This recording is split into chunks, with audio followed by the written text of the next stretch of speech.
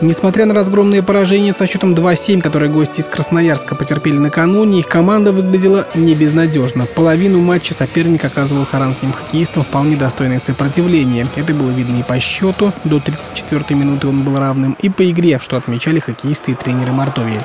Во второй половине встречи класс и опыт наших игроков взял свое, после чего гости чуть рассыпались и больше энергии тратили на различного рода потасовки, нежели на попытки сделать разницу в счете не такой разгромной. Нам тяжело, мы ребятам все вроде бы объяснили, да, но тяжело им перестроиться, потому что еще мышления им этого не хватает быстрого. А ребята из Мордовии, там у них наиграно все быстро, на быстроте, на мелком пасе и исполнительское мастерство есть, да.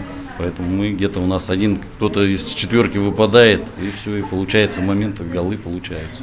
Наши ворота. В повторной игре, которая состоялась в минувшую среду, хоккеисты Мордовии, как и днем ранее, сумели соорудить быстрый гол. И так же, как и во вторник, сделали это в большинстве.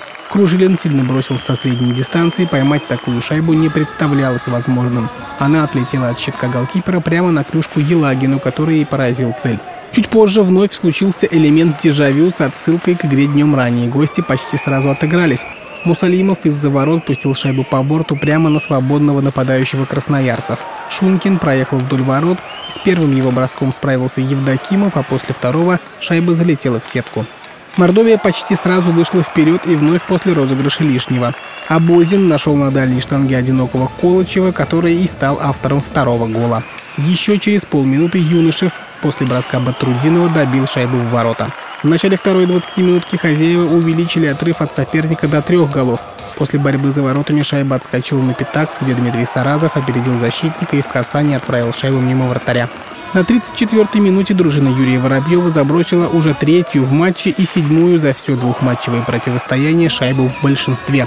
На этот раз достиг цели бросок с дальней дистанции в исполнении Сергея Горячего.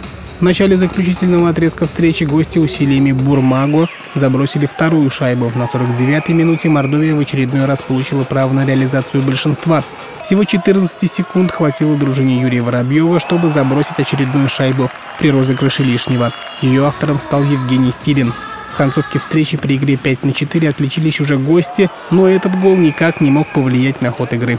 В итоге 6-3. Уверенная победа Мордовии в повторной встрече. Эти матчи беспокоились, потому что большой был перерыв, новогодние праздники отпускали ребята. И для э, восстановления полных кондиций игровых, конечно, время было маловато, но э, отдать должное, ребята немножко, скажем так, профессионально подошли, больших проблем не было, хотя э, если сравнивать вчерашнюю и сегодняшнюю, то сегодня, как сказать, если по счету мы вчера больше забили, меньше пропустили, сегодня меньше забили, больше пропустили, но сегодня игра на порядок интереснее была, по крайней мере, э, в тактическом, там, техническом варианте немножко так возвращаются эти кондиции. А сейчас беспокойство вызывает третье наше звено, они сегодня 0-2 при таком выигрышном счете и с такой командой микроматч проиграли 0-2, ну, есть у нас, значит, э, определенные проблемы, будем стараться их решить. Мы еще только учимся, да, на, на этом этапе находимся.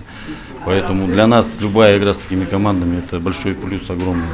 Да, нам не хватает еще маленького спортивного мастерства, но мы работаем, учимся. Вот в таких играх как бы приходит команде характер всегда заставляем ребят биться до конца, как бы не складывался матч. Следующие матчи наша команда, согласно календарю, проведет на выезде против клуба «Юниор», который в минувшем туре дважды обыграл в гостях клуб «Чебоксары». Ближайшие домашние встречи запланированы на 20 и 21 января. Соперник – клуб «Алтай» из города Барнаул. Юрий Осипов, Владимир Ильин. Наши новости.